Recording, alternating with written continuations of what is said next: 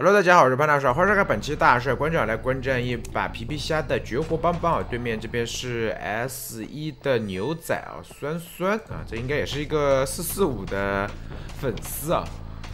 知道阵容的话，其实对于穷人来讲还不错啊，就是修的慢了一点。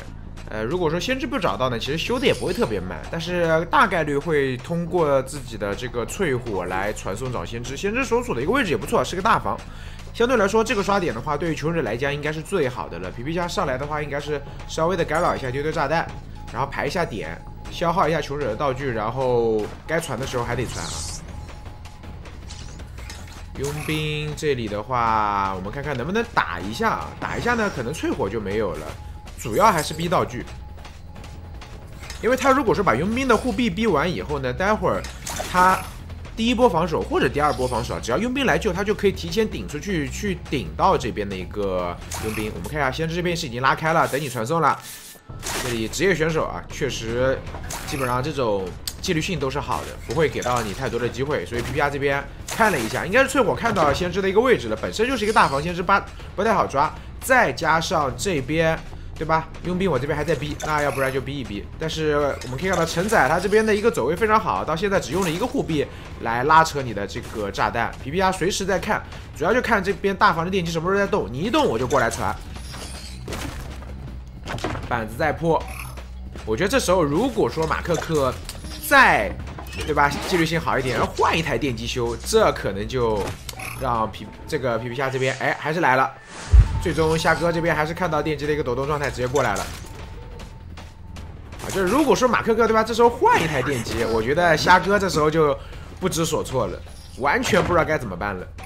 因为剩下的几个人，你说传野人不可能吧？打牛仔，这牛仔对吧？小皮鞭跟你，你又没闪现，你小皮鞭跟你来拉距离，头疼的一匹。这局。开局对于虾哥来讲就是一个 比较难打的一个局，因为先知所处的一个位置不太好。然后呢，这边求生者确实打的也好，完全不给机会的。落地一刀能打中还行，炸弹两连封，斜角补上没炸到。再补一刀打没办法，那需要两连炸弹加一颗遥控雷收，或者再补一刀，再补一刀可能有点难。我们看一下这边的两连的一个炸弹能不能补上。虾哥这里好像没有想要丢炸弹的一个意思，那证明这个点的话确实炸弹难丢啊。从外面追进来呢，它是有一个斜角往上的炸弹是可以炸得到，但是从里面追出去的话，可能他觉得一阶的炸弹距离不够远。封不太住，这边斜角呀没粘上，没粘上这个炸弹再补哟。马克这边也，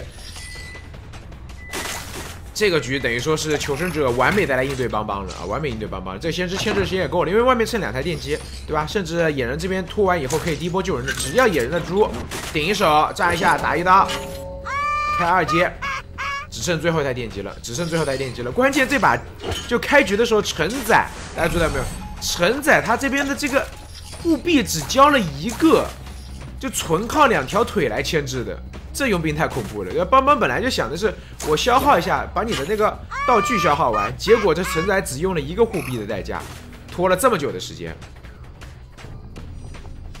理论上面来讲，这局邦邦已经没有太多的机会了，因为穷者现在有大把大把的时间可以把先知摸好，然后外面重启台电机，两台电机连修，邦邦是守不住的。一旦打到一个四人开门战的话，邦邦这里天赋上面不知道有没有带挽留啊？因为他带的是一个传送，有可能有挽留，但是虾哥带挽留的一个可能性不高，他好像不是那么喜欢带挽留。来，镜头给到陈仔，就不交护臂的这个人。我自己操作够好，我对炸弹的一个距离把控够好，我就不交护臂，我护臂留着开门战。抽一刀，四十八的电机，野人那边已经六十了，夏哥这边根本没有办法去传送，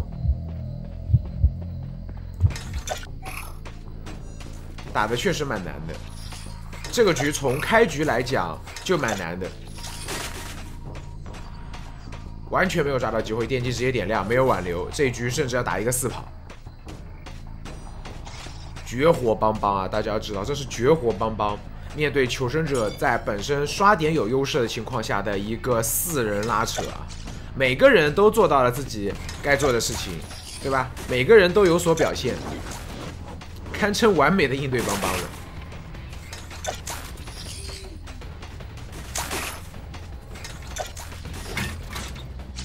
门开，野人先走，这先知，先知一刀没，鸟顶上了，马克这边还吸出了一只鸟，想要帮忙扛刀，炸弹封口，好，一刀把他留下。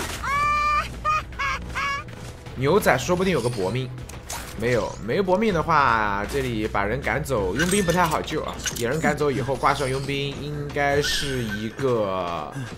也不好说，他们如果真要追一个四也行。牛仔把佣兵摸满了以后来追，传送过去的。这里把牛仔赶掉，佣兵两个护臂跳过去，死跑了。这里就是赌一个佣兵已经贴到这边的门，结果没想到佣兵没贴到，佣兵好像还想跳个地窖，直接投降。没办法，绝活邦邦也没办法，这个局求生者打太好了啊！可以作为一场教材来看一下，就是求生者在面对邦邦的时候的这些细节。